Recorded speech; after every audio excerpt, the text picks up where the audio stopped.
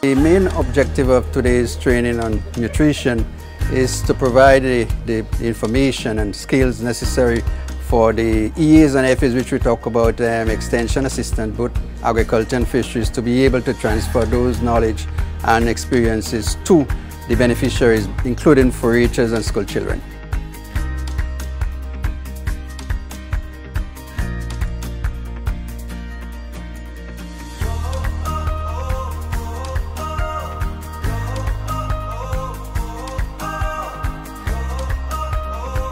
Now SAEP is the acronym for Climate Smart Agriculture and Rural Enterprise Program.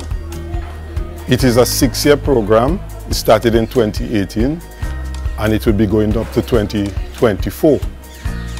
From a general perspective, SAEP is about collaborating with key stakeholders to um, provide support to beneficiaries in, in communities throughout Grenada, Carriacou and Petite Martinique. It's about, it's about empowering them to be climate resilient and to, to implement climate smart practices.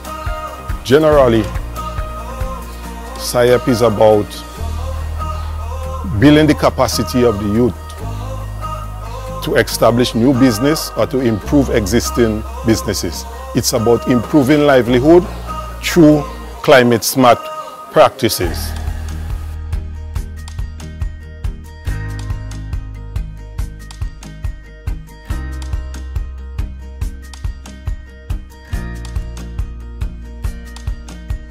In terms of the CSA component, that is the climate smart agriculture component of the program, this is something that as a ministry, we readily embrace. And the reason being is because as a result of the numerous trainings that the ex agriculture extension and fisheries officers engage in, especially the one that we are doing today is focus on nutrition. And the aim is that we're going to go out there to our farmers and fishers and really help them to utilize our local products and, and so on to better enhance their meal. So um, basically, this training was done to encourage persons to eat healthy, to use like the local food products um, to create the different healthy meals. Um, this program was a two-day program.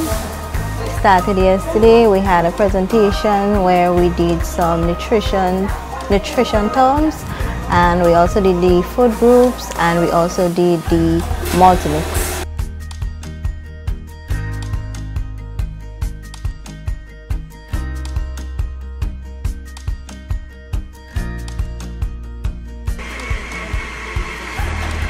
We learn about our food groups. We learn about proteins and carbohydrates and stuff like that that we could use um, to better enhan enhance our diet and our meal plan. And today we actually put it into practice. So we did some practical using our locally grown food from our backyards. And we had to do that in combination of a mixed meal and to separate, you know, have a balanced diet with our protein, our vegetables, and legumes. The information that we learn today